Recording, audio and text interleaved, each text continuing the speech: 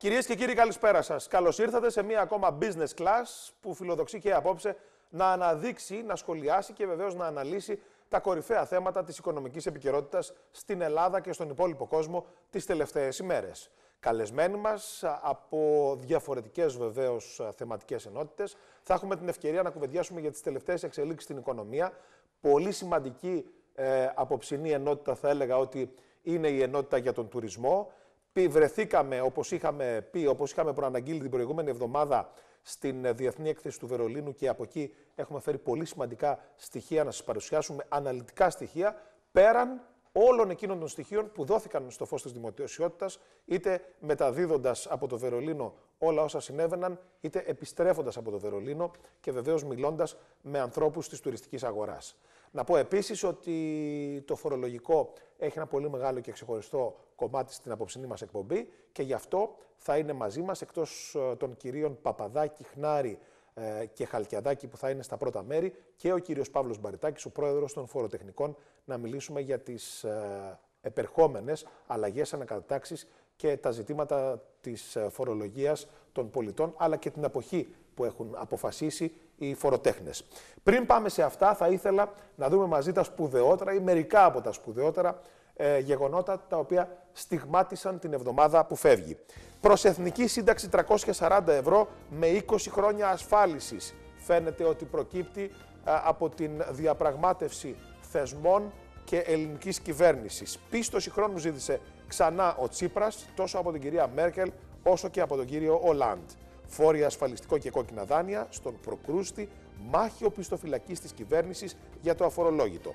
Διεθνές Νομισματικό Ταμείο, μεταρρυθμίσεις και χρέωση προποθέσει για συμμετοχή στο πρόγραμμα. Σταθάκης, στόχος να κατέβει κάτω από το 1% το κόστος χρήσης των ηλεκτρονικών πληρωμών.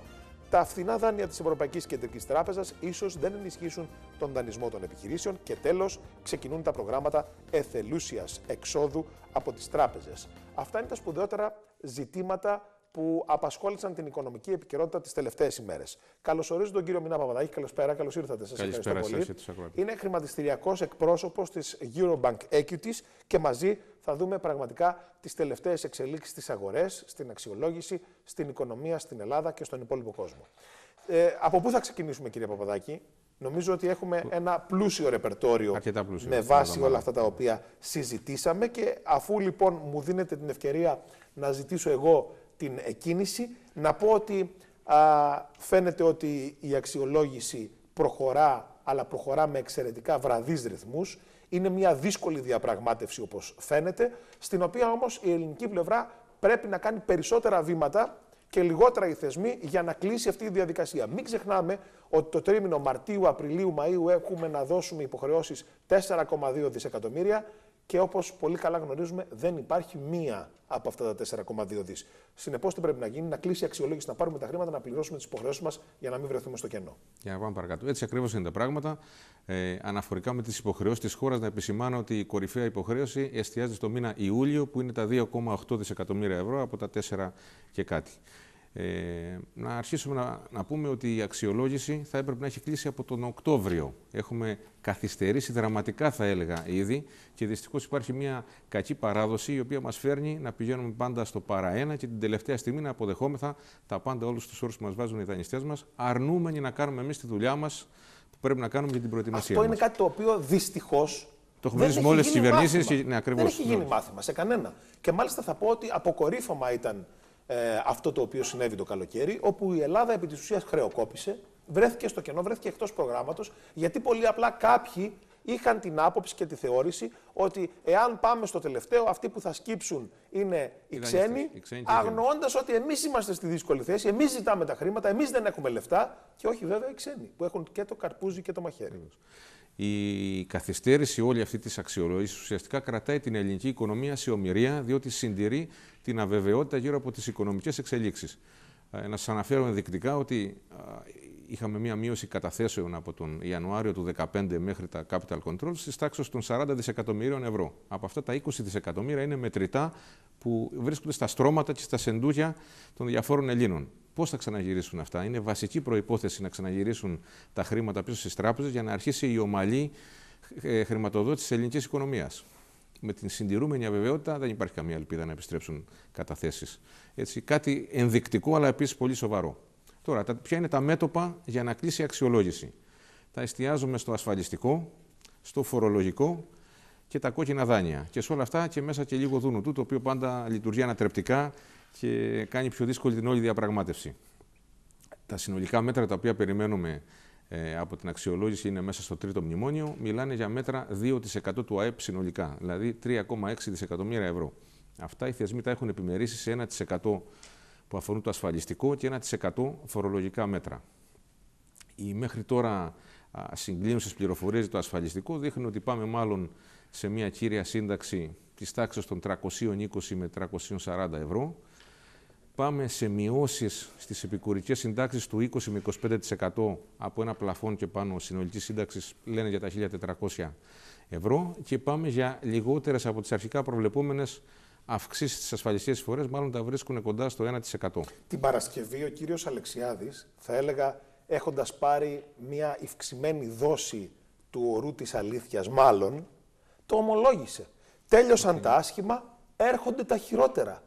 Και τα χειρότερα μας τα επιβεβαιώνει και ο κύριος Λιαργκόβας, ο διευθυντής του, προϋπολογισμού, του Γραφείου Προϋπολογισμού της Βουλής, ο οποίος είπε ότι αυτά τα οποία έχουμε υπογράψει, η κυβέρνηση, αυτά που υπέγραψε το καλοκαίρι στο Μνημόνιο 3, θα φέρουν μια καταιγίδα νέων μέτρων που δεν την έχετε ξαναδεί.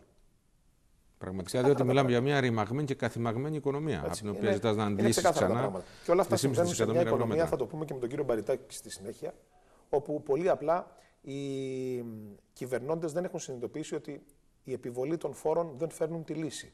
Διότι έχει μειωθεί αφενός η φοροδοτική ικανότητα και αφετέρου δεν λαμβάνουν υπόψη το τι έχουν κάνει άλλες χώρες όπως η Κύπρος για παράδειγμα, που δεν ε, θα έλεγα στήριξαν την εισπρακτική τους πολιτική στο κομμάτι το φοροδοτικό. Αναζήτησαν άλλες λύσεις. Τώρα, ε, όλα αυτά συμβαίνουν όταν Fed και Ευρωπαϊκή Κεντρική Τράπεζα προχωρούν σε χαλάρωση, ενώ την ίδια ώρα η Ελλάδα μένει εκτός ενός τέτοιου προγράμματος. Γενναίου προγράμματος. Γενναίου, ακριβώς.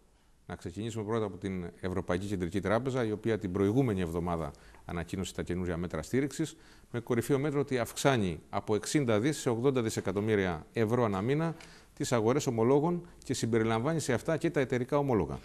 Επιπρόσθετα, δε αυξάνει το πλαφόν που ομολόγων που αγοράζει αναχώρα από το 30% στο 50%, κάτι που θα βοηθούσε πολύ περισσότερο και την, τα ελληνικά ομόλογα αν συμπεριλαμβανόμασταν κάποια στιγμή στο πρόγραμμα ποσοτικής χαλάρωσης.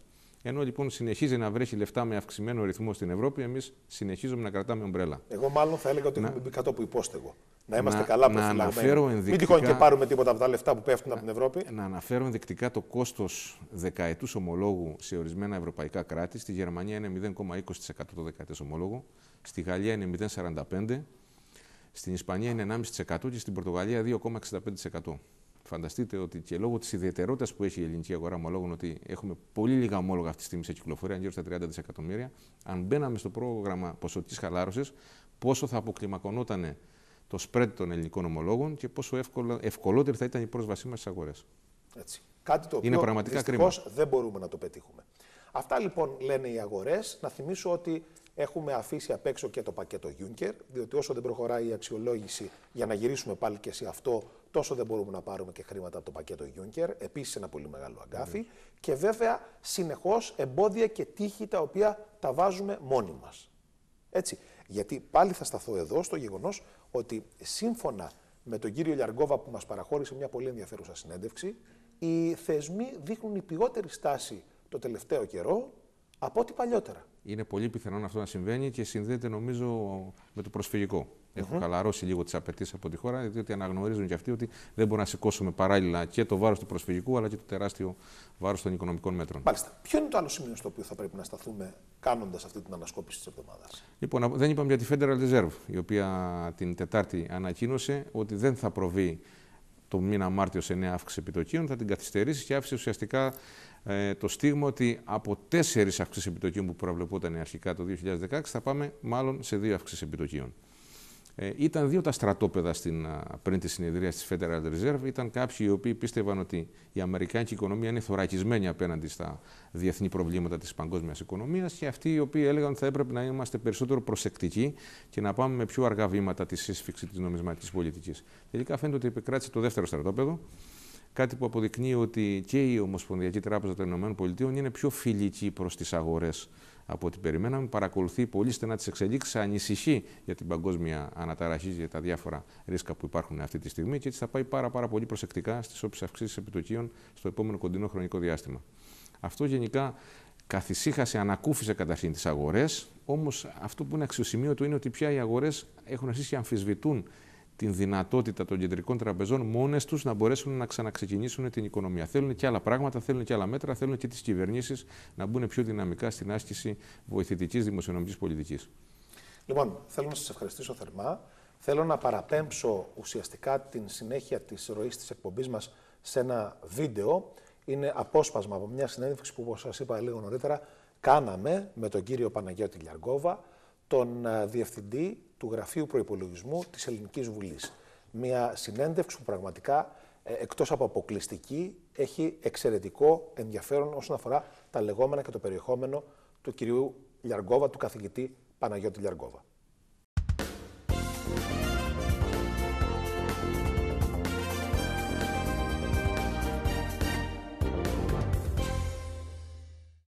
Την παραδοχή ότι η κατάσταση στην οικονομία μας είναι τώρα χειρότερη από ποτέ έκανε μιλώντας στην ραδιοφωνική εκπομπή Πηξίδα του Ραδιοκρίτη ο Διευθυντής του Γραφείου Προπολογισμού της Βουλής, καθηγητής Παναγιώτης Λιαργκόβας. Σίγουρα τα πράγματα είναι χειρότερα από ό,τι ήταν προηγούμενα, τους προηγούμενους μήνες. Και το λέω αυτό γιατί έχει υπάρξει καθυστέρηση στην αξιολόγηση. Και ξέρετε, οι καθυστερήσεις δυστυχώς, και λυπάμαι που το λέω αυτό, αλλά έτσι είναι, πρέπει να είμαστε ρεαλιστές οι καθυστερήσεις πηχίζουν. Ε, αν είχε τελειώσει η αξιολόγηση, θα είχαμε πάρει και τα λεφτά, τη, τη, τη δόση αυτή που αναμένει να πάρουμε, θα είχαν μπει στην οικονομία αυτά τα λεφτά, θα είχε κινηθεί η οικονομία, θα, ήταν, θα, θα είχαμε, θα είχαμε λιγότερες, λιγότερη ενεργεία, θα είχαμε περισσότερη δραστηριότητα στην οικονομία και το ο ίδιος έκανε λόγο για καταιγίδα μέτρων που προκύπτουν από την υπογραφή του τρίτου μνημονίου. Όλα τα ζητήματα είναι ζητήματα τα οποία θα έχουν αρνητική επίπτωση στις, στους πολίτες, δυστυχώς. Η, θέλετε η φορολογία η οποία θα είναι αυξημένη για, τους, για όλους σχεδόν. Οι εισφορές επίσης, το συνταξιοδοτικό, τα κόκκινα δάνεια, όλα αυτά είναι ε, ζητήματα δύσκολα, με κοινωνικές επιπτώσεις, αλλά από την άλλη πλευρά είναι ο ρεαλισμός, ο οποίος αν δεν τα λύσουμε αυτά τα ζητήματα, θα διωγγωθούν ακόμη περισσότερο. Χαρακτήρισε όμως η ποιότερη της στάση των θεσμών απέναντι στη χώρα μας. Σήμερα, και όπως είπε χαρακτηριστικά, το συμπέρασμα αυτό προκύπτει και από την πρόσφατη συνάντηση που είχε με τον Γερούν Ντάιζελμπλουμ στην Ολλανδία. Θα έλεγα προς το τέλος δεν είμαι επιθετικότερη. Ε, προς το, ε, επειδή και με το ΔΝΤ και με την Ευρωπαϊκή Επιτροπή έτσι, έχουμε συζητήσει ε, και έχω συζητήσει και με τον Ντάιζελμπλουμ. Ε, όταν σε κάποια ευκαιρία είχα πάει στο Άμστερνταμ. Mm-hmm. Δεν είναι, δείχνουν μια, ε, έχω διαπιστώσει ότι δείχνουν μια διαλλακτικότητα προ, ε, τον τελευταίο καιρό. Φέτος δηλαδή σε σχέση με άλλες χρονιές. Άρα δεν βλέπω να έχουν σκληρύνει τη στάση τους. Απλά θέλουν να τηρηθούν τα συμπεφωνημένα. Τα συμπεφωνημένα, έτσι. Ε, δουλεύουν, ξέρετε, με, το, με μια τετράγωνη λογική ότι αυτά υπάρχουν στο χαρτί, ε, αυτά συμφωνήσαμε, αυτά πρέπει να κάνουμε. Την ίδια ώρα παραδέχθηκε ότι στο Ταμείο δεν υπάρχει μία, ενώ οι άμεσες υποχρεώσεις φτάνουν στο τρίμηνο τα 4,2 δισεκατομμύρια. Να θυμίσω ότι έχουμε πει Μάρτιος, Απρίλης, Μάης 4,2 δις. Δεν έχουμε από αυτά τίποτα. Ακριβώς. Δεν έχουμε τίποτα από αυτά. Επομένως, το μεγαλύτερο μέρος των χρημάτων ουσιαστικά θα πάει για την πληρωμή αυτών των υποχρεώσεων. Αλλά καθώς θα κλείσει η αξιολόγηση, θα ανοίξει και ο δρόμος για τη συζήτηση του χρέους, θα ανοίξει και ο δρόμος για την για τα άλλα εργαλεία που είπαμε προηγουμένως. Όταν ρωτήθηκε τι λέει στον Πρωθυπουργό, ο κύριος Λιαργκόβας απάντησε ειλικρινά και αφοπλιστικά. Αυτά που λέμε και εδώ τώρα δημόσια, τα ίδια λέω και εκεί. Ε, βλέπετε δεν ε, μιλάω εντελώς ρεαλιστικά την, την εικόνα αυτή που έχουμε καταγράψει και στις εκθέσεις μας. Αυτά συζητάμε και συμμερίζονται, μπορώ να σας πω, πολλές φορές τις απόψεις μας. Κληθείς να σχολιάσει το πώς θα έρθει η ανάπτυξη, ο ίδιος ήταν απόλυτος. Μόνο μέσα από συγκεκριμένο δρόμο μεταρρυθμίσεων. Πιστεύω ότι μπορεί να έρθει η ανάκαμψη, ε, γιατί υπάρχουν ε, εργαλεία τα οποία μπορούν να βοηθήσουν να συνεισφέρουν ώστε να έρθει η ανάκαμψη. Το θέμα είναι πότε θα έρθει η ανάκαμψη.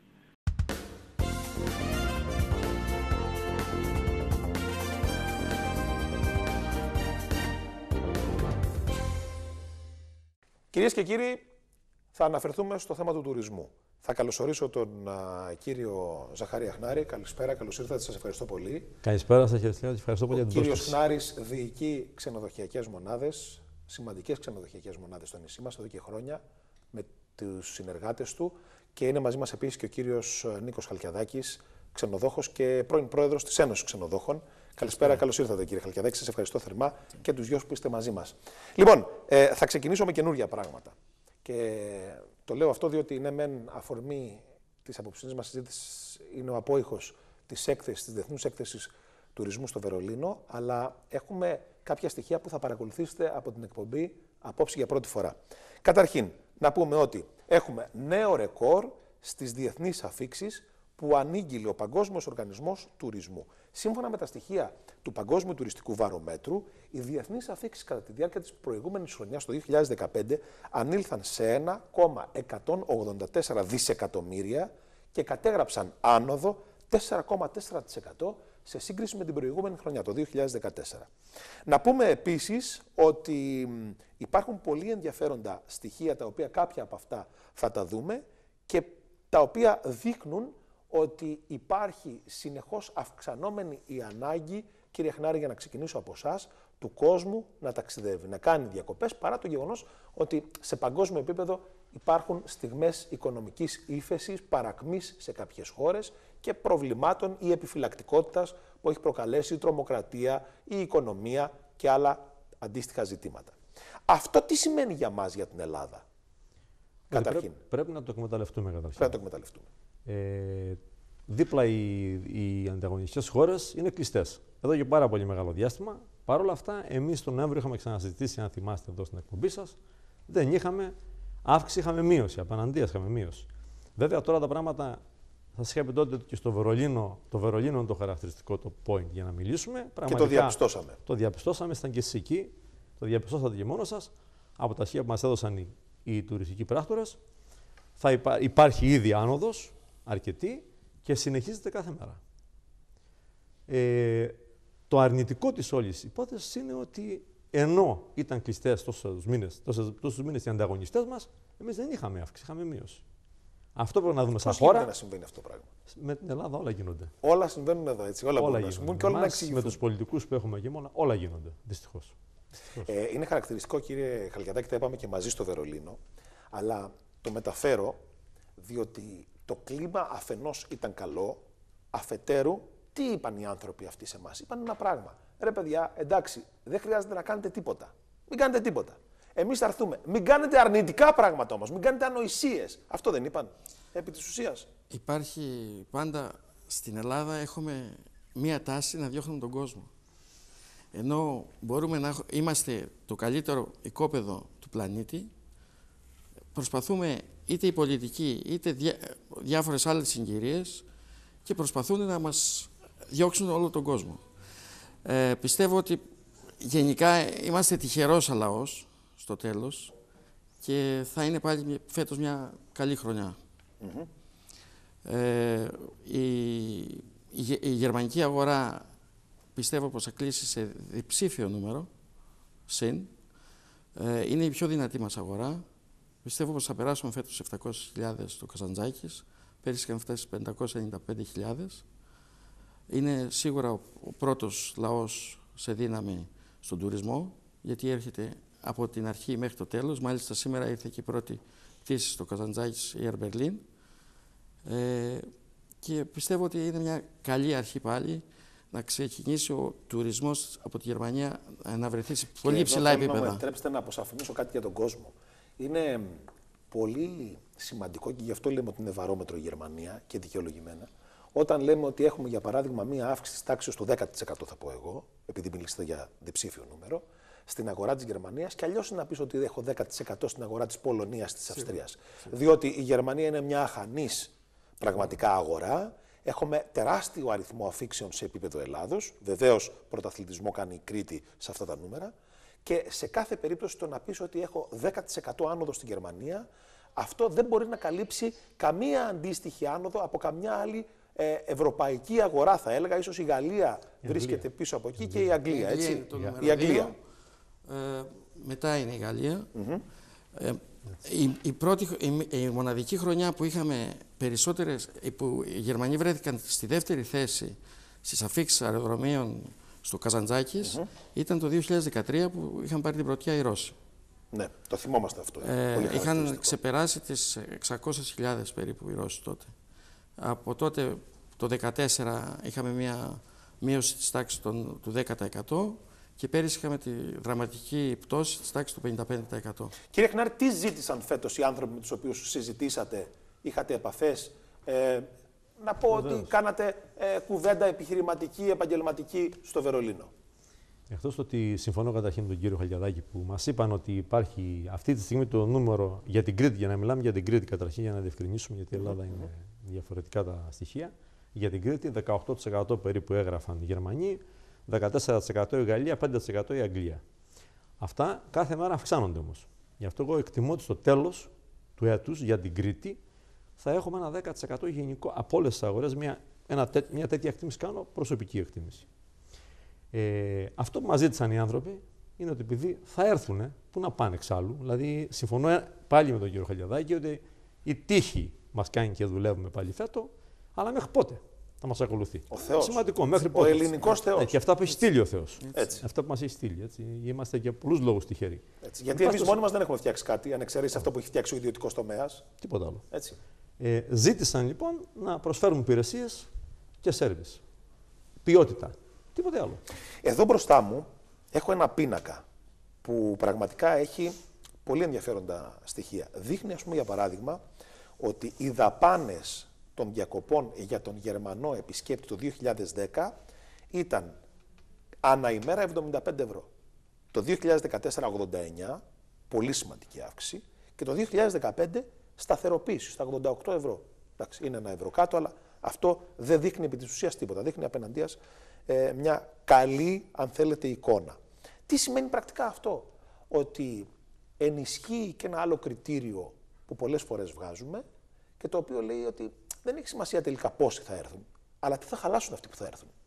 Διότι αν έρθει ένας και χαλάσει 100 και έρθουν και 100 που χαλάσουν ένα, είναι, ε, θα έλεγα, το ίδιο πράγμα. Έτσι, το ίδιο πράγμα. Εμείς λοιπόν θέλουμε να έχουμε και καλό νούμερο στις αφήξεις και όσο το δυνατόν καλύτερο νούμερο που να ενισχύει την δυνατότητα που έχει το πορτοφόλι, να το πούμε έτσι πολύ απλά, του επισκέπτη, να χαλάει χρήματα εδώ, είτε μέσα στο ξενοδοχείο, είτε εκτός ξενοδοχείου. Αυτό είναι κάτι πάρα, πάρα πολύ σημαντικό. Επίσης, σημαντικό είναι από ό,τι φαίνεται εδώ, και αμέσως μετά θα σας το δώσω να το σχολιάσετε, ότι για παράδειγμα στην ε, Ισπανία ο Γερμανός χαλάει 97 ευρώ τη μέρα, στην Τουρκία 85 και στην Ιταλία 88 όταν στην Αυστρία και στην Κροατία χαλάει 82 και 91 ευρώ αντίστοιχα. Βλέπουμε δηλαδή ότι είμαστε κάπου στη μέση και δίνουμε μια μάχη πολύ σημαντική να κρατηθούμε προς τα πάνω. Κύριε Χαλκιαδάκη, έτσι δεν είναι; Έτσι είναι. Ε, ε, ο Γερμανός τουρίστας είναι καλός τουρίστας. Πηγαίνει, βγαίνει έξω, θα φάει, είτε είναι all inclusive είτε δεν είναι, θα πάει στις ταβέρνες, θα κάνει τις εκδρομές του, είναι επαναλαμβανόμενος ε, τουρίστας, έρχεται πάρα πολλά χρόνια, οι φίλοι του, η οικογένειά του την αγαπάνε την Ελλάδα. Ε, είναι, ε, γι' αυτό έχουμε και το, είναι και το νούμερο ένα αυτή τη στιγμή σε αφήξεις ε, κράτος από την Ευρώπη. Ε, κατά τα άλλα, οι άλλες χώρες, ε, σίγουρα λέγαμε για το Ρώσο ότι ο Ρώσος ναι άφηνε περισσότερα λεφτά και αφήνει στην αγορά περισσότερα λεφτά, αλλά μην ξεχνάμε ότι ο Ρώσος έρχεται από ένα πολιτισμό ο οποίος ήταν χρόνια φυλακισμένος. Και τώρα άρχισε και αγοράζει. Το, ο Ρώσος είναι ένας λαός ο οποίος θα έρθει και θα κατεβεί ε, από τα ξενοδοχεία μία με δύο φορές τη βδομάδα στην αγορά του Ηρακλείου και θα αγοράσει πράγματα. Θα τον δει και θα γυρίσει με σακούλες πίσω. Αυτό ε, το, το, το 2013 το είδαμε και η αγορά του Ηρακλείου ήταν πολύ σημαντικά ανεβασμένη το καλοκαίρι. Ε, και πέρυσι ήταν αρκετά πεσμένη. Εγώ μίλησα με αρκετά μαγαζιά και μου είπαν μας λείπουν οι Ρώσοι πελάτες. Ε, σίγουρα ελπίζω ότι θα πιάσουμε το περσινό νούμερο στη Ρωσία. Μπορούσαμε να πάρουμε και παραπάνω κόσμο αν είχαμε αρχίσει λίγο περισσότερο ε, ε, το κράτος μας ε, με τα Visa Center είχε κάνει περισσότερα Visa Center. Αυτή τη στιγμή νομίζω φτάνουν τα 15 σε όλες τις πόλεις της Ρωσίας και να κινιόμαστε πιο γρήγορα έτσι ώστε να μην έχουν όλη αυτή τη διαδικασία να βγουν οι βίζες. Επίσης, να ξέρουμε ότι ο Ρώσος αυτή τη στιγμή έχει σοβαρό πρόβλημα με το ρούβλι. Το ρούβλι έχει... Αυτό που φωνάζουμε τα τελευταία χρόνια. Έχει, έχει ξεφύγει τελείως, είναι πάρα πολύ χαμηλά και σίγουρα έχει οικονομικό πρόβλημα. Ε, αυτό για να συνεχίσουμε την κουβέντα στο πολύ σημαντικό σημείο που βάζει ο κύριος Καλιαδάκη, κύριε Χνάρη, και θα φανεί ίσως και τις επόμενες μέρες που θα έχουμε την έκθεση στη Μόσχα. Που είναι μια επίσης σημαντική έκθεση, γιατί μπορεί να μην έχει το κύριος και τη βαρύτητα του Βερολίνου, αλλά είναι πάλι η μεγαλύτερη έκθεση αναφορικά την ανατολική πλευρά της τουριστικής αγοράς, δηλαδή τη Ρωσία για την οποία γίνεται ο λόγος. Εκεί λοιπόν υπάρχει το θέμα αφενός του ότι οι Ρώσοι είναι σε μια οικονομική κρίση δική τους, είναι το θέμα της ισοτιμίας ευρώ με το ρούβλι και έρχεται να προσθεθεί και η υπόθεση με, με τα Visa Center. Αυτό τι πρακτικά μπορεί να σημαίνει στο μείγμα το τουριστικό το δικό μας; Καταρχήν από εμάς εξαρτάται. Εδώ και μήνες φωνάζουμε. Σας είχα πει ότι είχα και μία συνάντηση με τον πρέσβη ε, της Ελλάδος και τον εκπρόσωπο τότε, το, τότε που έκανε το event, ο Test Tour στο κ. Αγγελόπουλο του ξενοδοχείου. Προφανώς είχε μιλήσει και ο κ. Χαλιαδάκης. Και ο άνθρωπος μας είπε ότι δεν τον ακούει κανένας. Φώναζε από τότε, ανοίξτε, φέρτε άτομα να βγάζουν βίζες. Τότε, από τότε, Νοέμβριο μήνα. Mm -hmm. Και έχουμε φτάσει τώρα τον Μάρτιν να μιλάμε γιατί τώρα τα κάνανε όλα αυτά που κάνανε. Τώρα. Αργά. Τώρα. τώρα. τώρα. Δεν είναι, είναι ημερών υπόθεση αυτή που λέει ο κ. Χαλιαδάκης. Είναι ημερών. Είχαμε τρία visa center. Ακριβώς. Και ενώ, και ενώ είχαν 90, 82, δεν θυμάμαι τώρα ακριβώς το νούμερο, σα το είχα πει την περασμένη φορά, των υπαλλήλων οι Ισπανοί. Και 60 βίζε. Μετά γιατί γέμισε η Ισπανία, γιατί γέμισαμε καταρχήν εμείς, γιατί γέμισε η Ισπανία. Οπότε και μετά η, ακόμα και η Βουλγαρία γέμιζε για να πάρουμε κόσμο. Εμείς τρίτη και καταδρομή, τέταρτη ολότελα μετά την Πορτογαλία. Αυτά δεν τα συζητήσουμε. Πάντως εδώ θα με επιτρέψει και θα κλείσουμε την ενότητα αυτή, θα συνεχίσουμε αμέσως μετά. Ε, να υπάρχει ακόμα, σε μένα τουλάχιστον προσωπικά, ένα αναπάντητο ερώτημα το οποίο το διατυπώνω διαχρονικά. Το βάζω τα τελευταία χρόνια και σε πολιτικούς, το βάζω και σε ανθρώπους του τουρισμού και δυστυχώς κανένας δεν μπορεί να μου απαντήσει.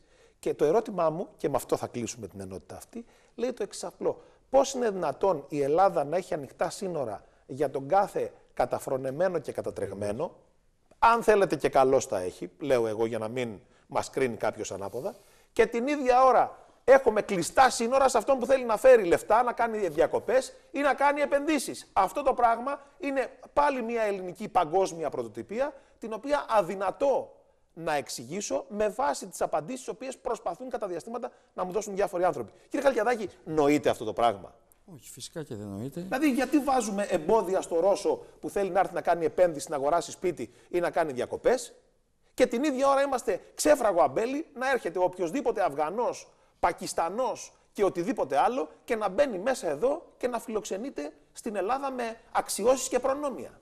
Αυτό το πράγμα είναι εξήγητο. Εγώ πιστεύω ότι εδώ και χρόνια έχουμε κλείσει τις επενδύσεις στην Ελλάδα. Δεν θέλουμε επενδύσεις. Ε, γιατί αν θέλαμε επενδύσεις, αυτή τη στιγμή ο τουρισμός είναι τόσο δυνατός στην Ελλάδα μπορεί να φτάσει όχι 25, 35 και 40 εκατομμύρια. Αυτή τη στιγμή, αν είχαμε περισσότερα κρεβάτια Ιούνιο, Ιούλιο, Αύγουστο και Σεπτέμβριο, θα είχαμε πολύ περισσότερο κόσμο. Αυτό ακριβώς. Θα είχαμε πάρα πολύ περισσότερο κόσμο. Και να ξέρετε ότι στους επόμενους, στον επόμενο 1,5 μήνα θα έχουν γεμίσει τα ξενοδοχεία για Ιούνιο, Ιούλιο, Αύγουστο και Σεπτέμβριο. Τα περισσότερα ήδη ε, ξενοδοχεία έχουν στείλει stop sales. Ξεκινάει το stop sale από τώρα για αυτούς τους μήνες. Άρα δεν μπορούμε να δεχτούμε άλλο κόσμο. Το αεροδρόμιο μας δεν μπορεί να δεχτεί αυτούς τους μήνες άλλο κόσμο, οπότε κλείνουμε την πόρτα στους ξένους. Άρα γιατί δεν μπορούμε να κερδίσουμε λοιπόν κι άλλο ερώτημα, το στίχημα αφού δεν μπορούμε να επιμηκύνουμε την περίοδο, αφού δεν μπορούμε να κτίσουμε περισσότερα ξενοδοχεία και να βάλουμε περισσότερα κρεβάτια τώρα τελευταία στιγμή για Ιούλιο, Αύγουστο, Σεπτέμβριο, γιατί δεν γεμίζουμε Απρίλιο, Μάρτιο, Μάιο; Ή να αρχίσουμε από το Μάρτιο, από τώρα. Γιατί σας είπα και πέρυσι που τελείωσε η σεζόν μέσα Νοεμβρίου, μέσα Οκτωβρίου, έπεσε το αεροπλάνο στην Αίγυπτο και δεν ήμασταν ικανοί σαν χώρα να πάρουμε ούτε έναν πελάτη και γέμισε η Κύπρος. Παρά. Δεν, δεν από αυτούς που ακύρωσαν την Αίγυπτο. Θα πήγαιναν όλοι. Ναι, και η, η Κύπρος έκανε το εξής έξυπνο. Ε, ξανά, ξανά. Άνοιξε τα το Γενάρη, το Γενάρη, άνοιξε την Πάφο, όλη την Πάφο, με τα αθλητικά κέντρα και πήρε όλες τις ομάδες τι ρώσικες. Και κάνανε τον αθλητικό τουρισμό και την προετοιμασία. Αλλά δεν έχουν βίζα, να συμπληρώσουμε. Αλλά εκεί δεν χρειάζεται Και να σας πω και κάτι άλλο στο προηγούμενο που είπατε. Mm -hmm. Έκανε για λογαριασμό της ITB Berlin, τη χθέσεως, μία ερευνητική, ένας ερευνητικός όμιλος για λογαριασμό της ITB έκανε μία έρευνα, η IPK, στην οποία μέσα αναφέρεται, αναφέρεται για όλο τον κόσμο. Αυτά που προείπατε για τον τουρισμό γενικά και σε μία παρά που αναφέρεται για την Ελλάδα, αναφέρεται το εξής. Οι Έλληνες μπορούν να αυξήσουν τον τουρισμό από την Τουρκία κατά ένα εκατομμύριο και από την Κίνα κατά πολύ. Αν κάτσουν και δουν πώς θα φτιάξουν το θέμα της βίζας. Δεν ασχολούνται όμως. Τα λέει ξεκάθαρα. Ερευνητική, ερευνητικός όμιλος για λογαριασμό της ΕΕ το έκανε αυτό. Άνω τελεία, διακοπή, διαφημίσεις. Επιστρέφουμε σε πολύ λίγο με τη συνέχεια της απόψινή business class.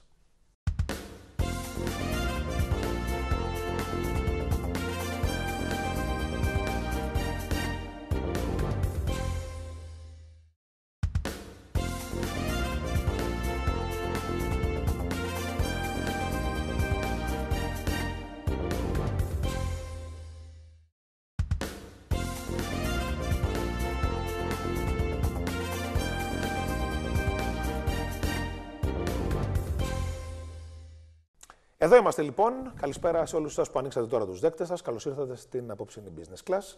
Καλεσμένοι μας για το θέμα του τουρισμού και βεβαίως της περίοδου που είναι πρώτων πυλών, ο κύριος Ζαχαρίας Νάρης και ο κύριος Νίκος Χαλκιαδάκης. Ο κύριος Νίκος Χαλκιαδάκης είναι ξενοδόχος και πρώην πρόεδρος της Ένωσης Ξενοδόχων Ηρακλείου. Ο κύριος Νάρης είναι ε, ουσιαστικά ο άνθρωπος ο οποίος ε, παρέχει υπηρεσίες διοίκησης ξενοδοχειακών μονάδων στην Κρήτη.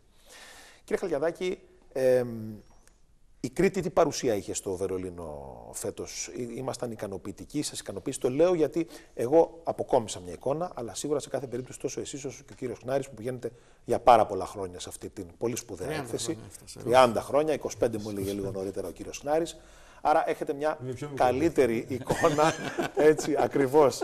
Λοιπόν, για να μας πείτε τα συγκριτικά σε σχέση με προηγούμενες χρονιές. Πώς πήγαμε φέτος, σαν περίπτερο εκεί; Σαν περίπτερο. Κοιτάξτε, η παρουσία μας είναι πάντα σημαντική. Η Κρήτη είναι η ναυαρχίδα του τουρισμού στην Ελλάδα. Έχουμε περίπου το 33 με 35%. Ε, και πάντα και οι πράκτορες και όλοι που έρχονται στην Ελλάδα πρώτα ασχολούνται με την Κρήτη. Ε, είχαμε το περίπτερό μας της Κρήτης το οποίο ήταν απέναντι από την Ελλάδα σε, είναι, είμαστε, είναι ο τρίτος χρόνος τώρα που έχουμε ξεχωριστό περίπτερο. Πάντα απέναντι από την Ελλάδα, ένας ωραίος χώρος, μικρός, αλλά ουσιαστικός. ουσιαστικός. Φαίνεται καλά, είναι μια ωραία παρουσίαση. Ε, από εκεί πέρα, η Ελλάδα σαν παρουσίαση ήταν αρκετά καλή. Δυστυχώς τις τελευταίες μέρες, μετά τις τρεις επαγγελματικές μέρες, χάνεται ο κόσμος, φεύγει, είναι κρίμα όσοι έχουν περίπτερα πρέπει να μένουν εκεί πέρα, γιατί υπάρχει πάρα πολύ κοινό το οποίο έχει ενδιαφέρον και θέλει να έρθει να ρωτήσει ορισμένα πράγματα. Ο πελάτης ο Εγώ πήγα και το Σάββατο και την Κυριακή, έκανα μια βόλτα στην έκθεση. Πήγα στην Ισπανία και ήταν γεμάτη η Ισπανία. Είχε, είχε φοβερές εκδηλώσεις. Ενώ, χορευτικά. είναι, ενώ είναι sold out η Γερμανία, η, η Ισπανία. Ναι, έτσι. Είχε χορευτικά, είχε το ένα, είχε το άλλο. Πάρα πολύ ωραία παρουσία και ο κόσμος ήταν εκεί. Εμείς γιατί φεύγουμε; Ε, είναι ένα, ερώτημα, είναι, είναι ένα ερώτημα δικό μου, το οποίο το θέτω στους συναδέλφους τόσα χρόνια, τη στιγμή που έχει το περίπτερό του ο καθένας, τη στιγμή που πληρώνει τόσα χρήματα, γιατί δεν είναι φθηνά τα περίπτερα. Είναι για πέντε μέρες, δεν είναι για τρεις μέρες η ITV. Κάθονται τρεις και δύο. Ναι. Δυστυχώς. Κύριε Χνάρη. Έχει δίκιο. Ναι. Είναι ένα θέμα αυτό, πάρα πολύ σημαντικό. Ε, βάζει πρόστιμα, να, πω... να συμπληρώσω. Ναι, βάζει... βάζει πρόστιμα τώρα εγώ του. Ξεκάθαρο. Τι τώρα πλέον πρόστιμο σε χιλιάδες ευρώ. Σε χιλιάδες λέει, έφυγες, 2.000 ευρώ πληρώσε. Πρόστιμο. Τους τιμωρεί πλέον. Αληθινά, δεν είναι ψέματα αυτό που ναι, λέω. Το γνωρίζεις. Φέτο το έμαθα εκεί. Λείπει, πρόστιμο. Δεν θα ξεφυλιζόμαστε στα χώρα. Ε, να, δηλαδή, δεν κάνουν τίποτα που δεν κάνουν οι πολιτικοί. Εμεί δεν τα κάνουμε και οι ίδιοι τώρα εμείς χάλια. Λοιπόν, μιας και είπατε για πολιτικούς, είχαμε την ευκαιρία να συναντηθούμε με την Υπουργό, την ε, κυρία Κουντουρά. Ε, ξέρω ότι είχατε και οι δυο σας συνομιλίες και εμείς δημοσιογραφικά που κουβεντιάσαμε με την κυρία Κουντουρά.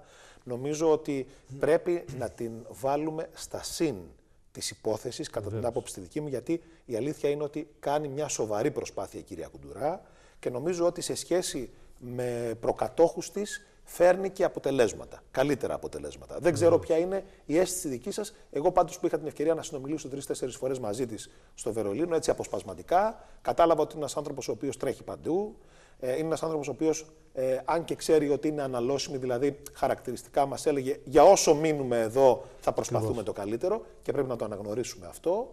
Και σε κάθε περίπτωση νομίζω ότι έχει προσαρμοστεί στο τουριστικό κλίμα. Έτσι δεν είναι, κύριε Χνάρη; Βεβαίως. Είναι συναισθαλμένη, ακούει. Ακούει. Αυτό Ακούει. αυτό. Αυτό Ακούει. είναι χαρακτηριστικό. Είναι πολύ σημαντικό του. Χαρακτηριστικό.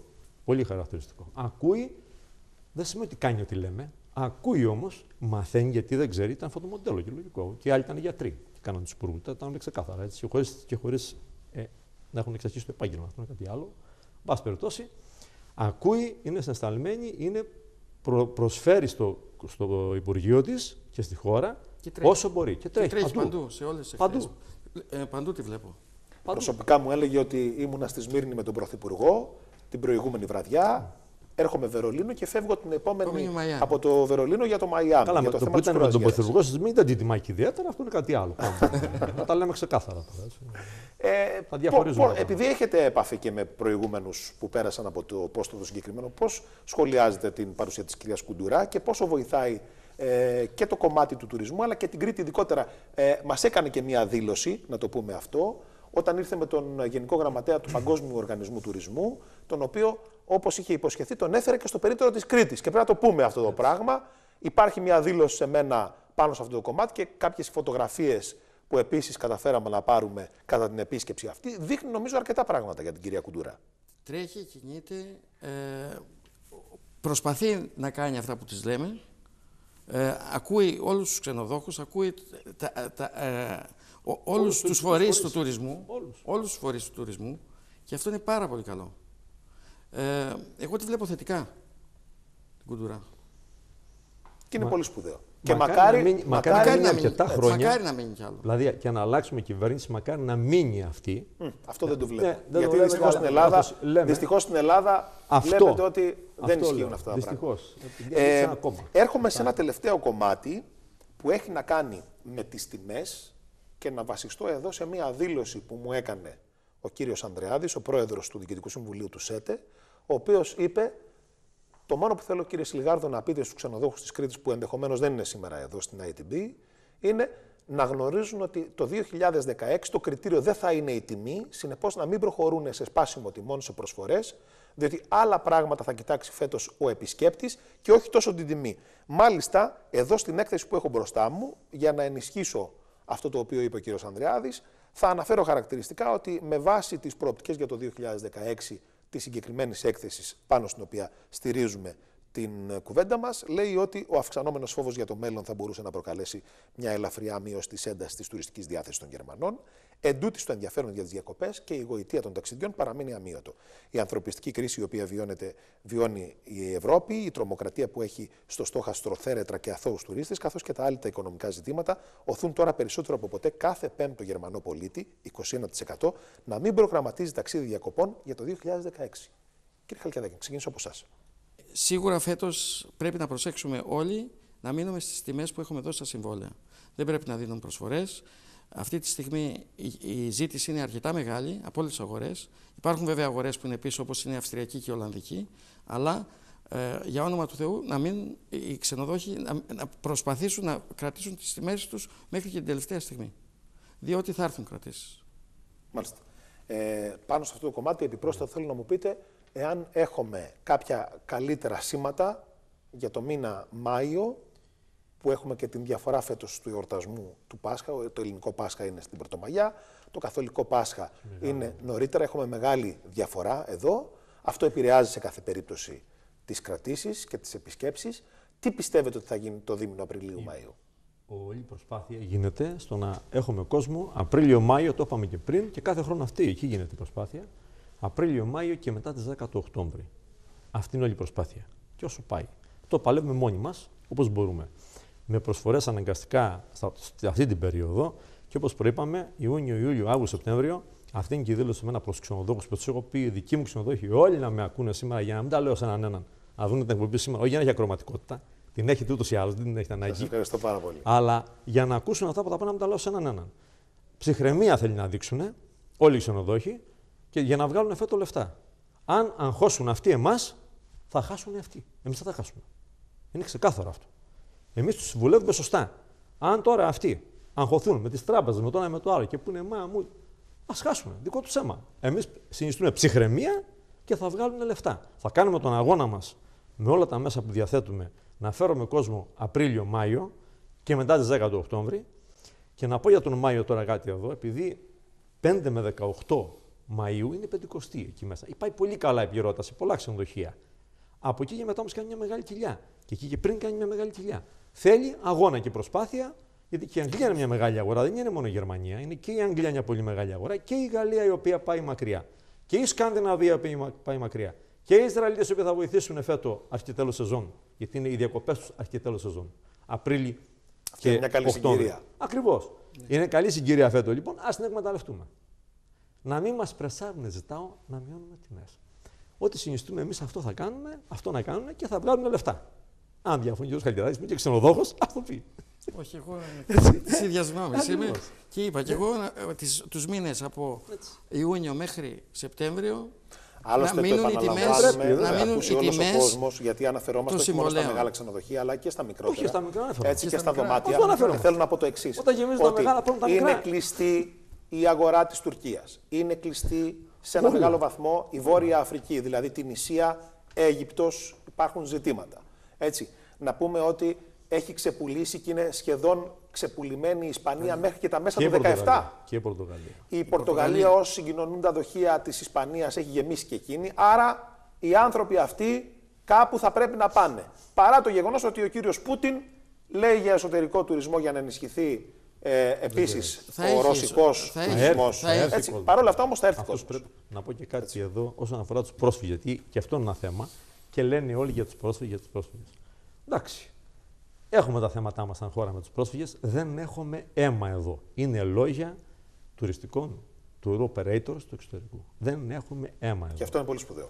Ακόμα και ταξιδίε να κάνουν απεργία, να πηγαίνουν πάλι οι πελάτες με τις βαλίτσες στον νόμο από τα Μην αεροδρόμια. του άνοιγετε τώρα Πα- ορέξει. Εντάξει, δεν είσαι- μα, μα με τον Τσίπρα από τον Υπουργό όλα τα περιμένει κανείς.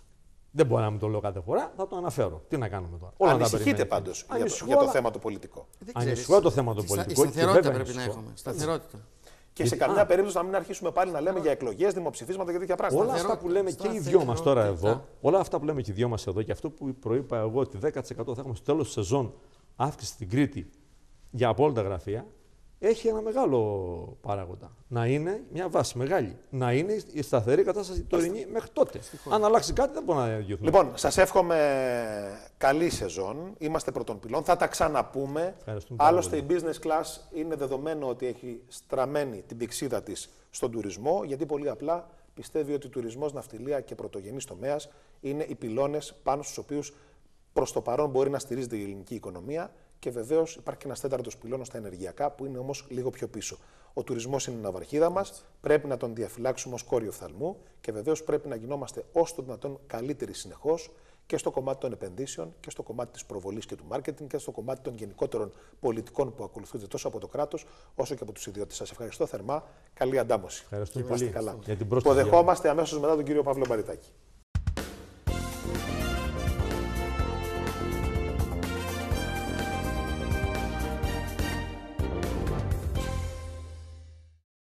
Η δήλωση των τελευταίων ημερών αναφορικά με τις φορολογικές δηλώσεις, κυρίες και κύριοι, θα έλεγα ότι κάθεται ή στέκεται, πείτε το όπως θέλετε, στην τοποθέτηση του κυρίου Αλεξιάδη. Ότι κάθε φορολογική δήλωση χρειάζεται 15 λεπτά για να συμπληρωθεί και να κατατεθεί. Και αυτό ίσως θα μπορούσαμε να το περιμένουμε να το ακούσουμε από ένα Υπουργό Οικονομικών ή Υφυπουργό Οικονομικών, αν ο Υπουργός είχε την επαγγελματική ιδιότητα του γιατρού, του ζωγράφου, του ποιητή, αλλά σε καμία περίπτωση από έναν άνθρωπο όπως ο κύριος Αλεξιάδης, που είναι άνθρωπος της συγκεκριμένης κατηγορίας ε, και του συγκεκριμένου κλάδου και είναι ένας άνθρωπος της συγκεκριμένης αγοράς. Κύριε Μπαριτάκη, είναι δυνατόν να μην ξέρει ο κύριος Αλεξιάδης πόσο Καλησπέρα. χρόνο παίρνει, καλησπέρα, καλώς ήρθατε, για να συμπληρωθεί σωστά μια φορολογική δήλωση. Πράγματι, με έκπληξη ακούσαμε και εμείς τη δήλωση του κ. Αλεξιάδη ότι η δήλωση είναι 15 λεπτά και ότι αν κάνει τη διαίρεση από τότε που θα ανοίξει το Taxes.net μέχρι που θα λήξουν οι δηλώσεις, είναι επαρκής ο χρόνος για να μπορέσουν να υποβληθούν 6 εκατομμύρια φορολογικές δηλώσεις που αναμένεται να πάρει το Υπουργείο Οικονομικών φέτος. Σαφώς και είναι μια ατυχέστατη δήλωση, σαφώς και δεν ανταποκρίνεται στην πραγματικότητα και ο κύριος Αλεξιάδης που προέρχεται από τον κλάδο των φωτεχνικών, ε, μάχημος φωτεχνικός ε, σε Μέχρι- υπηρεσίες, μέχρι πριν γίνει βεβαίως, του υφυπουργός. Υπουργείου Οικονομικών, πραγματικά ξέρει πολύ καλά τι σημαίνει Γιατί μια το είπε αυτό το ε, πράγμα, φορολογική κύριε Μπαριτάκη; δήλωση. Τι σκοπό είχε; Δεν ξέρω. Ο κύριος, το ο κύριος μόνο- Αλεξιάδης τώρα είναι πλέον πολιτικός, δεν είναι φοροτέχνης, Ακριβώς. λογιστής. Κάποιο Και σκοπό είχε να το πει. Από αυτόν τον άνθρωπο που έχει ζήσει τα προβλήματα αυτά, που έχει βιώσει πραγματικά την καθημερινότητα των λογιστών φοροτεχνικών, περιμέναμε μια τελείως διαφορετική αντιμετώπιση. Ε, Ενδεχομένως, επειδή έχει καθυστερήσει η υπηρεσία να ανοίξει το TaxNet, που έπρεπε από 1 του Φεβρουαρίου να είναι έτοιμο και να υποβάλουν φορολογικές δηλώσεις. Και μάλιστα το διαφήμιζαν κιόλας. Πείτε το γι' Ακριβώς, αυτό. ακριβώς. Έτσι το είχαμε πει από εδώ πολλές φορές ότι σύμφωνα με ανακοινώσεις και διαρροές του Υπουργείου των Οικονομικών, φέτος 1 Φεβρουαρίου όλα θα είναι έτοιμα. Το είχε ανακοινώσει το ίδιο Το το, ίδιο το Υπουργείο Υπουργείο. ότι 1 του Φεβρου- Φεβρουαρίου θα άγγε το σύστημα για να γίνουν οι φορολογικές δηλώσεις. Προβλέπεται και από το νόμο. Δεν είναι, δεν είναι δηλαδή τυχαία 1 Φεβρουαρίου, μια τυχαία ημερομηνία. Προβλέπεται από τον νόμο ότι οι δηλώσεις που βάλετε από 1 Φεβρουαρίου μέχρι 30 Απριλίου.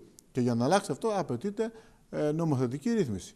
Άρα λοιπόν μέχρι σήμερα το Taxes.net δεν έχει ανοίξει. Αναμένεται να ανοίξει. Εγώ πιστεύω θα πάμε Απρίλιο για να ε, είναι ανοιχτό. Αλλά εν πάση περιπτώσει εμείς απαντήσαμε στο Υπουργείο Οικονομικών και βέβαια για το σοβαρό θέμα του ασφαλιστικού που είναι το κυρίαρχο θέμα αυτές τις μέρες που μας απασχολεί ότι από την ημέρα που θα ανοίξει το σύστημα εμείς θα απέχουμε και από τη σύνταξη και από την υποβολή των φορολογικών δηλώσεων για ένα δεκαήμερο θα επανεξετάσουμε τα θέματα και θα επανέλθουμε ε, σε Εσείς συνέχεια. λοιπόν λέτε ότι από τη στιγμή που και επίσημα θα ανακοινωθεί ότι ανοίγει η διαδικασία, εσείς βρίσκεστε σε δεκαήμερη αποχή. Ακριβώς. Αυτό θα πρέπει να το γνωρίζουν οι φορολογούμενοι, θα πρέπει να το γνωρίζουν και οι επιχειρηματίες οι οποίοι περιμένουν με βάση τη σειρά που δίδεται κάθε χρονιά να καταθέσουν δηλώσεις ότι οι φοροτέχνες λογιστές τους θα απέχουν. Άρα θα πάμε πίσω όλη τη διαδικασία. Και βλέπουμε, λέτε. Δεν λέτε Δεν ότι θα σταματήσουμε ναι, στην δεν- Όχι, δεν δεκαήμερο. σταματούμε. Βέβαια, ε, οι πληρωμές του φόρου, κύριε Σιλιγάρδου, είναι καθορισμένες. Η πρώτη δόση είναι 31 Εβδόμου, η δεύτερη είναι 39 του, η Έτσι κι τελευταία 30 Δεκάτου. Έτσι κι αλλιώς. Δηλαδή, ε, άσχετα με την ημερομηνία υποβολής, διότι έχει πει ο κ. Αλεξιδάδης να αλλάξει τον τρόπο πληρωμής, θέλει και εδώ νομοθετική ρύθμιση που δεν έχει εξασφαλίσει τη συνένεση των θεσμών. Άρα, ξέραμε ότι είναι τρεις διμηνιαίες δόσεις. Ε, δεν έχει αλλάξει νομοθετικά ούτε αυτό το πλαίσιο που ξέραμε μέχρι σήμερα. Οπότε δεν είναι θέμα. Άλλωστε, σας πληροφορώ ότι κανείς φορολογούμενος δεν ανησυχεί πότε θα έρθει η ώρα να πάει να πληρώσει υπό αυτές τις συνθήκες που ζούμε σήμερα την πληρωμή του φόρου εισοδήματος. Τι ζητάτε από τον κύριο Αλεξιάδη για να πάρετε πίσω την εξαγγελία αυτής της αποχής; Από τον κύριο Αλεξιάδη ζητάμε ανθρώπινες συνθήκες και ανθρώπινη αντιμετώπιση ως ελεύθεροι επαγγελματίες που θέλουμε να κάνουμε τη δουλειά μας. Η δουλειά του φοροτέχνη, λογιστή, του επαγγελματία δεν είναι μόνο να υποβάλει μια φορολογική δήλωση και δεν έχουμε τίποτε άλλο. Ε, Ένα λογιστικό γραφείο έχει πλήθος φορολογικών υποχρεώσεων, ασφαλιστικών υποχρεώσεων, εργατικών ομοθεώ- ε, ε, υποχρεώσεων. Είναι ε, πολύπλοκη η νομοθεσία. Είμαστε σύμβουλοι των επιχειρήσεων αλλά και των πλέον και των απλών φορολογούμενων. Οπότε ε, δεν έχουμε την ευχαίρεια αυτή του ενός ετάτου που θέλει μόνο, μόνο για να εξηγήσουμε στο φορολογούμενο τι ακριβώς συμβαίνει και πώς θα φορολογηθεί. Άρα, εκτός από αυτό όμως, επειδή κυρίαρχο αίτημα είναι το φορολογικό μαζί με τους υπόλοιπους επιστημονικούς φορείς που είναι σε κινητοποίηση εδώ και αρκετό χρονικό διάστημα, έχουμε καταθέσει επίσημη πρόταση στο Υπουργείο Εργασίας, στον κύριο Κατρούγκαλο και περιμένουμε και από εκεί την αντιμετώπιση των, φορολογ... των ασφαλιστικών μας εισφορών. Δεν μπορεί, κύριε Σιλιγάρδο, η ασφαλιστική εισφορά ενός ελεύθερου επαγγελματία στον ΑΕ, στον ΟΑΕ να ανέρθει στις 12 έως τις 17.000 ευρώ σε ετήσια Παρεπιπτόντω, βάση. από καταγγελίες που είχα τις τελευταίες μέρες, δεν είχα σκοπό να το βάλω στη συζήτηση, αλλά μου το φέρατε τώρα. Είχα σκοπό να το συζητήσουμε σε μία από τις επόμενες εκπομπές. Παρατηρείται αύξηση στα ασφάλιστρα του ΟΑΕ. Ναι. Το γνωρίζετε κάτι γι' αυτό; Ε, υπάρχει αύξηση, βεβαίως υπάρχει αύξηση, αλλά χωρίς καμία ανταπόδοση. Δηλαδή, Καλά, έτσι η- κι αλλιώς. η Γιατί αύξηση αυτά που αυτή- πλήρωναν μέχρι έτσι. τώρα οι άνθρωποι είχαν κάποια ανταπόδοση. Τίποτα. Δηλαδή δεν έρχεται ούτε στις καλύψεις στο θέμα της υγείας, ούτε σε θέματα των συντάξεων, ούτε τίποτα. Δηλαδή δεν μπορεί να κληθεί ε, ο ελεύθερος επαγγελματίας που έχει ένα εισόδημα των 20, των 25, των 30 ευρώ να στηρίξει το ασφαλιστικό σύστημα. Απλά θα αναγκαστεί να βάλει λουκέτο και αυτό στην επιχείρησή του, στο γραφείο του. Θεωρούμε λοιπόν ότι ε, για να γίνει οποιαδήποτε αντιμετώπιση στο ασφαλιστικό ζήτημα που το, είναι ένα πρόβλημα πολλών ετών, θα πρέπει να έχει γίνει μια αναλογική μελέτη. Δυστυχώς δεν έχει γίνει, όχι τώρα, αυτό είναι διαχρονικά. Πάντα στο ποδάρι αντιμετωπιζόταν το, το ασφαλιστικό σύστημα γενικότερα και ειδικά του ΑΕ που είναι σε σημείο να μην μπορεί να πληρώσει ε, συντάξεις και αναγκάζεται να χρηματοδοτείται από τον προπολογισμό, δηλαδή από όλους εμάς. Άρα λοιπόν, χωρίς αναλογική μελέτη, με μπαλώματα ότι ελάτε να πάρουμε μερικά χρήματα τώρα που βρίσκομαι για να στηρίξουμε για δύο-τρία χρόνια το ασφαλιστικό σύστημα, θεωρώ δεν είναι σοβαρή αντιμετώπιση. Την Παρασκευή, λες και κάποιος χορήγησε ορό αλήθεια στον κύριο Αλεξιάδη. Εγώ οφείλω να του βγάλω το καπέλο μου από αυτή εδώ την εκπομπή και να του πω μπράβο κύριε Αλεξιάδη, είστε εξαιρετικά ειλικρινείς, έρχεστε στη γραμμή τη δική μας, την οποία την φωνάζουμε εδώ και μήνες και μάλιστα κάποιοι έχουν ασκήσει πολύ σκληρή κριτική στη δημοσιογραφική μας θέση το προηγούμενο χρονικό διάστημα, λέγοντας χαρακτηριστικά την Παρασκευή ο κύριος Αλεξιάδης ότι τέλειωσαν τα άσχημα, έρχονται τα χειρότερα. Δεν μπορούμε να τον κατηγορήσουμε ότι ψεύδεται. Λέει την αλήθεια. Πόσο σοκ προκαλεί μια τέτοια δήλωση όταν την ακούμε από έναν Υπουργό Οικονομικών που έχει άμεση σχέση με το φορολογικό. Γνωρίζει, όπως λέγαμε, είναι άνθρωπος της αγοράς ο κύριος Αλεξιάδης. Κύριε Σιλιγάρδο, αν δείτε την πραγματικότητα, αν δούμε δηλαδή ότι σήμερα τα ληξιπρόθεσμα έχουν φτάσει στα 86 δισεκατομμύρια ευρώ, ένα τεράστιο ασύλληπτο μέγεθος που σημαίνει δεν θα εισπραχθούν ποτέ. Και αν δείτε αυτά που έρχονται σε φορολογικές επιχρεώσεις ή με το ασφαλιστικό σύστημα ή όλα τα μέτρα τα οποία θα ληφθούν από ό,τι φαίνεται, καταλαβαίνουμε ότι τα δύσκολα είναι ακόμα μπροστά μας. Αλλά μπορεί σήμερα. Μα εδώ δεν μιλάμε για δύσκολα. Εδώ ο κύριος Αλεξιάδης είπε τελείωσαν τα άσχημα, έρχονται τα, τα χειρότερα. χειρότερα. Ε, Σας είπα ότι με αυτά τα οποία πιέζουν αυτή τη στιγμή οι θεσμοί με αυτά που πιέζουν οι δανειστές, με αυτά τα μέτρα που μας επιβάλλουν να πάρουμε, ενώ μέτρα έπρεπε να έχουμε πάρει από μόνοι μας. Δεν έπρεπε να περιμένουμε τους δανειστές. Πόσες φορές το έχουμε πει. Εδώ και χρόνια πίσω. Μεταρρυθμίσει και μέτρα. Από το 9 το κουβεντιάζουμε μαζί, από αυτή εδώ την τηλεοπτική συχνότητα. Από το 9. Αυτά δηλαδή που μας επιβάλλουν σήμερα οι δανειστές, θα μπορούσαμε με πολύ επιότερα μέτρα εδώ και χρόνια πίσω να είχαμε ε, μπει σε μια σωστή κατεύθυνση στην οικονομία μας, που στηριζόταν πάντα στα δανεικά, τα κάτω ψέματα, να είχαν πάρθει μέτρα ανάπτυξης, τα λέμε, τα ξαναλέμε. Δυστυχώς δεν γίνεται τίποτα. Άρα λοιπόν και ο κύριος Αλεξιάδης με αυτή τη δήλωσή του ότι τα χειρότερα έρχονται, ε, κάνει μια διαπίστωση της πραγματικότητας. Τα πράγματα είναι δύσκολα. Ποιοι θα πληγούν περισσότερο από όλους, Οι συνήθειε ύποπτοι κύριε Σινιγάρδο, μισθοί συνταξιούχοι, ελεύθεροι επαγγελματίες, είναι όλοι αυτά, αλλά και επιχειρηματικότητα, η οποία μοιραία ο ένας κλάδος οικονομίας επηρεάζει τον άλλο.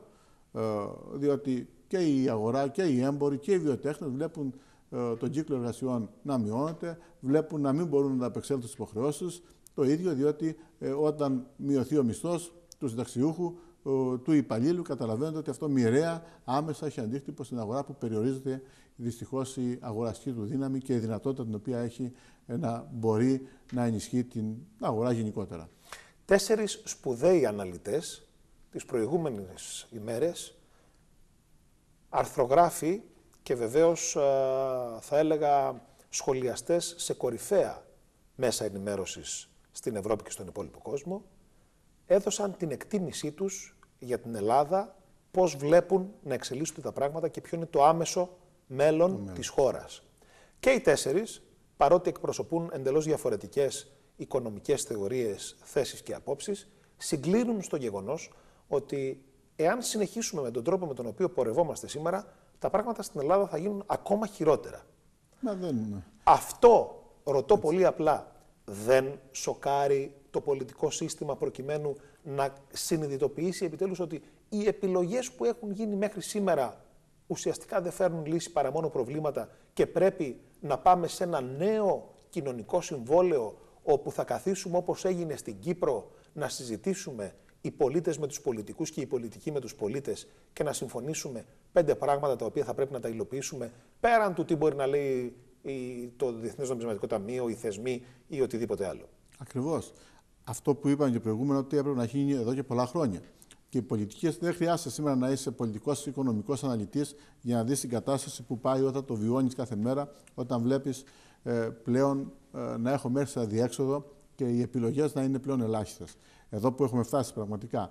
Άρα, αν σοκάρει το πολιτικό σύστημα, βεβαίως, το πολιτικό σύστημα έπρεπε εδώ και χρόνια πίσω να είχε ε, πάρει αυτό, το, να είχε πάθει ηλεκτροσόκ και να είχε πάρει μέτρα δραστικά. Δηλαδή, οι πολιτικοί και όσοι έχουν την ευθύνη της διακυβέρνησης έπρεπε να προβλέπουν. Να, ε, πριν φτάσουμε εδώ, να είχαν πάρει τα αναγκαία μέτρα τότε. Τώρα δυστυχώς έχουμε μπει σε ένα φαύλο κύκλο.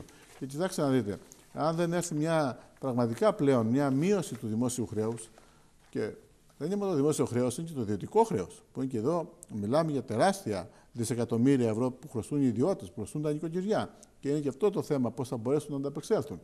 Και η λύση συζητάμε τα κόκκινα δάνεια τώρα που λένε να. Θα είναι το μεγάλο επόμενο μεγάλο κεφάλαιο της οικονομίας. Το ξεπούλημα των κόκκινων δανείων. Θα το δούμε τις επόμενες εβδομάδες. Θα φτάσει στον, και στον κάθε πολίτη πλέον εκεί στη, στην αποταμίευση που είχε κάνει όλα αυτά τα χρόνια και είχε ε, επενδύσει σε ένα κίνητο, σε ένα σπίτι, σε ένα, μια μικρή επιχείρηση.